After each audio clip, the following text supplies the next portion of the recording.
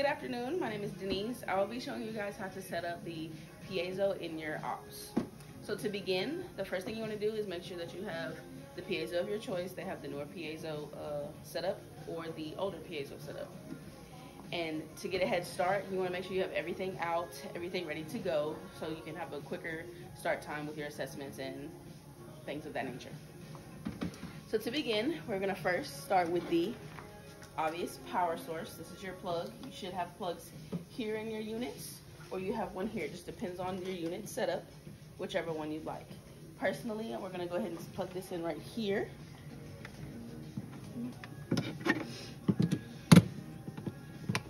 So that's plugged. Then you will take this in and plug it into your piezo setup. And you will make sure that it's on with the blue power button that will be lit up. So you will set this here. Try to make sure you don't tangle up the cords um, just to ensure that the piezo works correctly and it's taken good care of. The second thing you're going to do is your water cord. This end will plug into your unit underneath. If you have a 12 o'clock system, it will go under here. If not, you have the table, it will probably plug into the chair.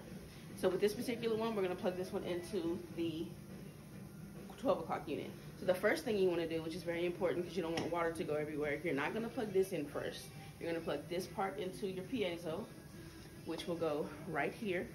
You're gonna make sure you press it in and it will literally snap in. So that's secured and ready to go. You're going to set this down. Then this part will come underneath the table here.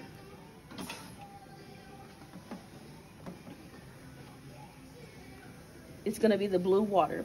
So this little prong here will clip on, if you see this little clip here, it will clip right in there. The reason why we plugged in, plugged it into the piezo first is so water doesn't go everywhere. So you're just going to push and snap and it's in. Now water should be able to flow through your piezo. The last piece of equipment that we will plug in before setting up the, the piezo handpiece will be your foot pedal. This is what you control your piezo with. So that's gonna go on the ground. This part will plug into this here. Just wanna make sure you line it up.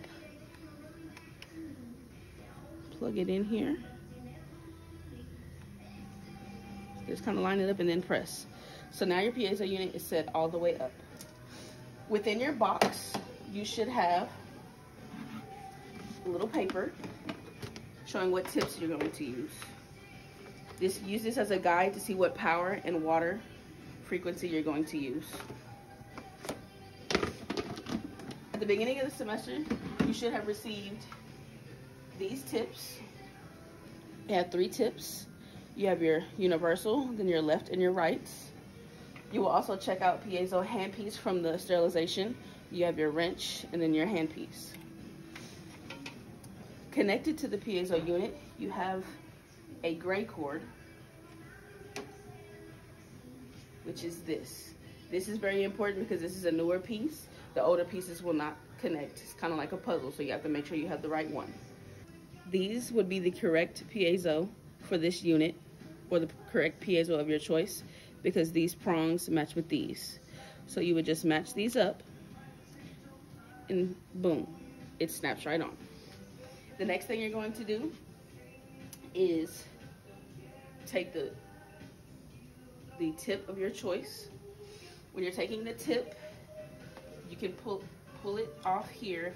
If you're gonna use your left, you would want to take your tip and take this wrench, not through this end, but through this end.